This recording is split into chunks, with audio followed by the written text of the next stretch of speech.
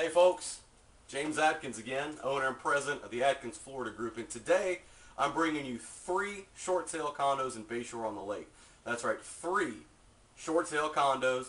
Bayshore on the Lake is a wonderful community in the heart of Bradenton, within walking distance to Carrabba's and Home Depot, but still only a couple miles from Anna Maria, a couple miles from Sarasota, and only about a 40 minute drive from Tampa. Today I'm bringing you three short sale condos. Condo number one, Unit 224 Building C. It's a second floor N unit. It's a 55 plus community.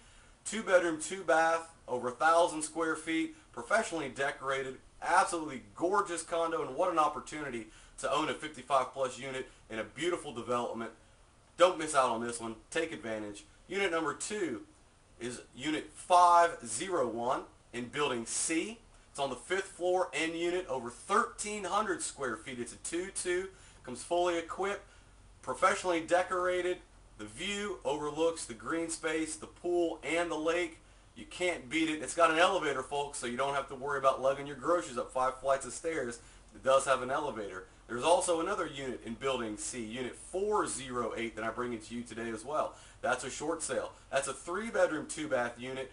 Also overlooks the lake and the green space. What a wonderful opportunity, folks, to own a condo in the heart of it all, close to downtown Bradenton, close to the beaches, close to Sarasota, within walking distance to shopping, very close to schools, very close to transportation.